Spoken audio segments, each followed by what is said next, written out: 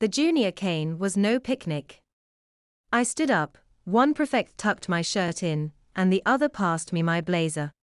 They escorted me back to the form room with my hands on my head.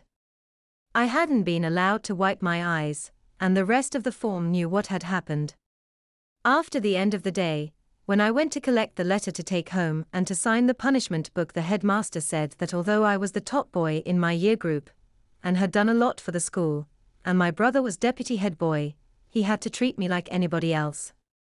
I told him, without being prompted, that I was very sorry for being so stupid.